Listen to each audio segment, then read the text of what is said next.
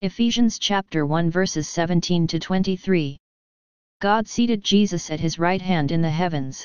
Brothers and sisters, may the God of our Lord Jesus Christ, the Father of glory, give you a spirit of wisdom and revelation resulting in knowledge of him.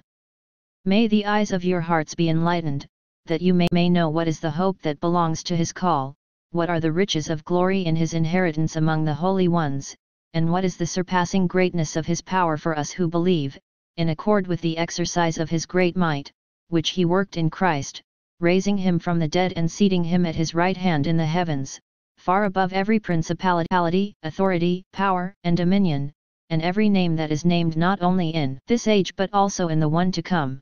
And he put all things beneath his feet, and gave him as head over all things to the church, which is his body, the fullness of the one who fills all things in every way. St. Paul wrote the letter to the Ephesians to encourage them and plain the character and purpose of the Church, which is also known as the body of Christ.